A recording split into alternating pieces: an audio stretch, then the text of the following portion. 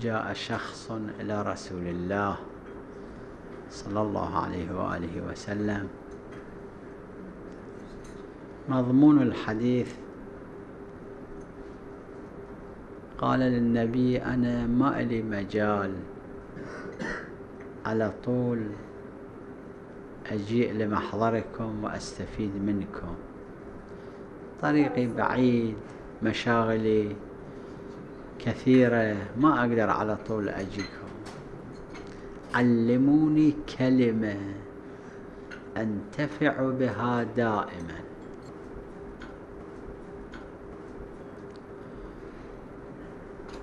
فقال النبي صلى الله عليه وآله أدنى أدنى ودنا من رسول الله صلى الله عليه وآله. ووضع النبي يده على قلب الرجل. وقال أي عمل أردت أن تعمل؟ أي كلام أردت أن تتكلم؟ لحظة واحدة راجع قلبك. شوف هذا صحيح يا مو صحيح. إذا صحيح اعمل ذلك العمل وقل ذلك الكلام. إذا تشوفه مو صحيح لا تعمل ذلك العمل ولا تقل ذلك الكلام. هذا المقياس أعطاه رسول الله صلى الله عليه وآله وسلم لهذلك الرجل. هذا الرجل جاء رجع. وشيئا فشيئا صار من الخيرة. ليش؟ صارت مناسبة راد يكذب. فكر في نفس الكذب زين يا مو زين؟ ماكو واحد يقول الكذب زين. شاف لا مو تمام مو زين. ما كذب. راد يخون شخص. فكر في نفسه. لو أنا في مكان ذلك الشخص وذاك في مكاني كنت أسمح له أن يخون معي؟ شاف لا. قال إذا لا أخون. وهكذا شيئا فشيئا صار من الخيرة الإنسان أي عمل أو قول يريد أن يعمله أو يقوله سواء في حال الرخاء أو في حال الشدة في حال الغضب أو في حال عدم الغضب في حال الجوع أو في حال الشبع. في كل حال. هذه الوصية من رسول الله ليست خاصة بذلك الشخص. هذه الوصية عامة للجميع للرجال وللنساء للعلماء ولغير العلماء وللطالب وللكاسب. وللموظف وللمدرس للجميع. الله سبحانه وتعالى خلق في كل إنسان وجدان. هذا الوجدان يحكم له ويحكم عليه.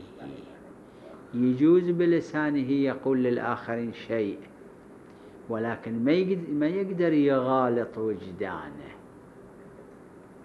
الظالم عندما يظلم لو يراجع وجدانه لحظة واحدة يفهم يعرف أن هذا خطأ مو صحيح. والكاذب عندما يكذب والمغتاب عندما يستغيب أحد والمتهم الذي يتهم مؤمنا أو مؤمنة إذا يراجعون لحظة واحدة نفوسهم وجدانهم يعلمون أنه مو صحيح.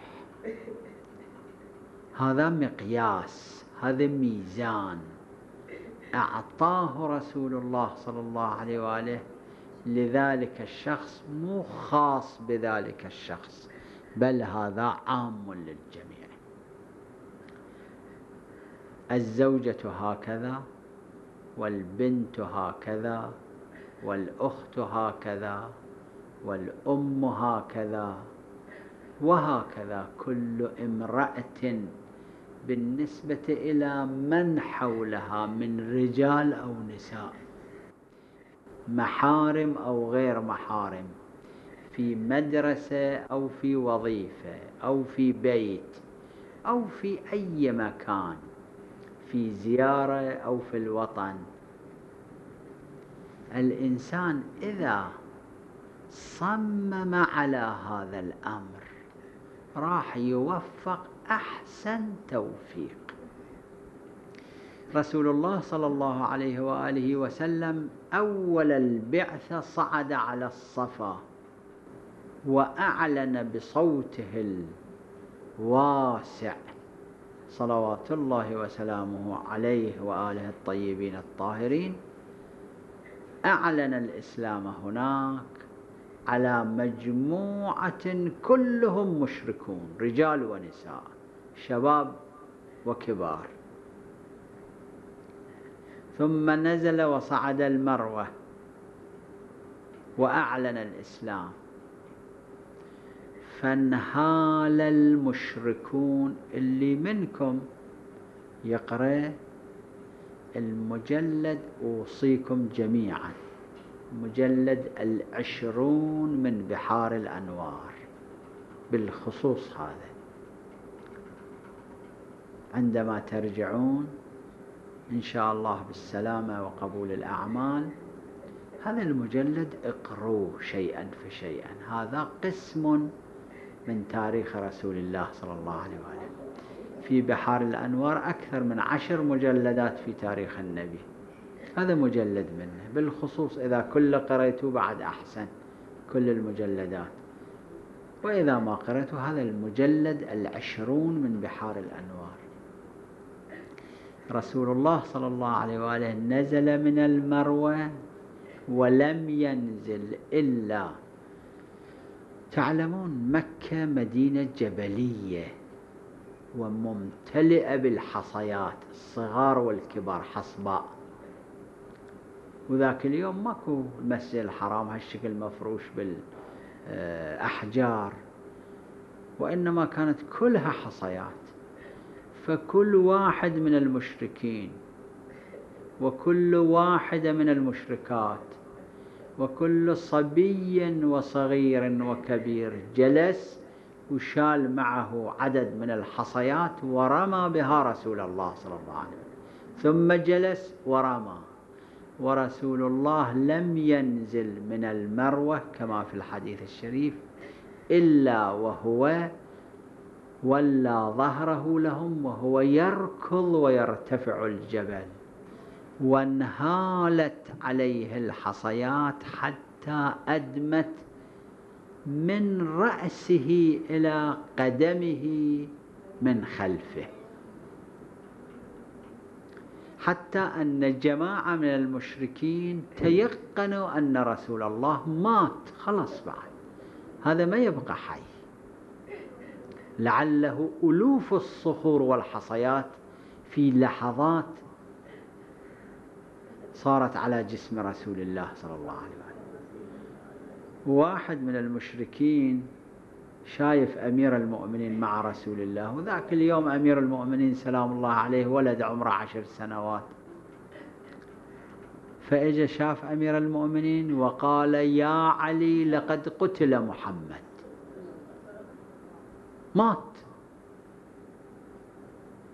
وأمير المؤمنين سلام الله عليه دخل عند خديجة سلام الله عليها وحملا إناء من ماء ورغيفا من الخبز شيئا من الخبز.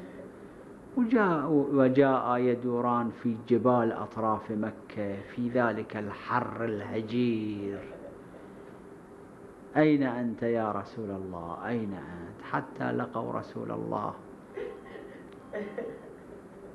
واقع على الأرض والدماء تنزف من رأسه إلى قدمه وملكه الضعف في تلك الحال. هذا المهم. في تلك الحال بعث الله تعالى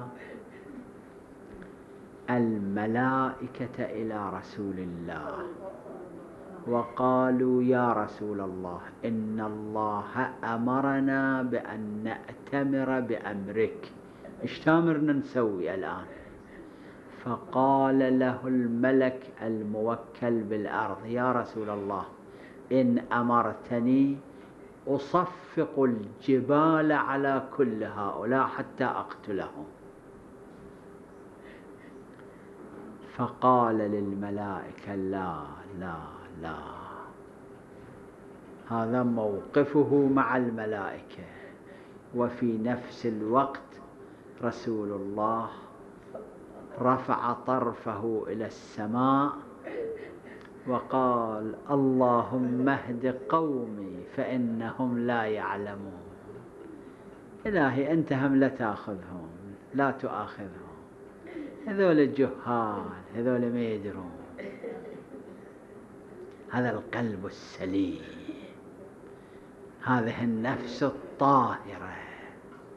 حتى أعداؤه وتمكن من الانتقام منهم لم ينتقم بل دعا له. هذا نبينا مو نبي الآخرين. آخرين اللي ما يعتقدون به. نحن نعتقد. القرآن الكريم القرآن الكريم يقول لقد كان لكم في رسول الله أسوة. أسوة يعني تعلموا منه تعلموا منه. أسوة حسنة لمن كان يرجو الله واليوم الآخر. هذه النفس السليمة. كل واحد من المؤمنين وكل واحدة من المؤمنات عليه أن يتعلم وتتعلم هذه النفس السليمة من رسول الله صلى الله عليه وسلم. يحب الخير حتى لعدوه ويدعو بالخير حتى لعدوه في وقت العداء. في وقت الظلم العدو له. الإنسان يمكن أن يصبح هكذا. نعم مو مرة واحدة أما شيئا فشيئا بالتلقين يوفق. وهذا هو الطريق الصحيح. وهذا هو الذي يجعل من الامرأة المؤمنة امرأة مرضية عند فاطمة الزهراء سلام الله عليها. أسأل الله أن يعينكم جميعا في هذا المجال. وصلى الله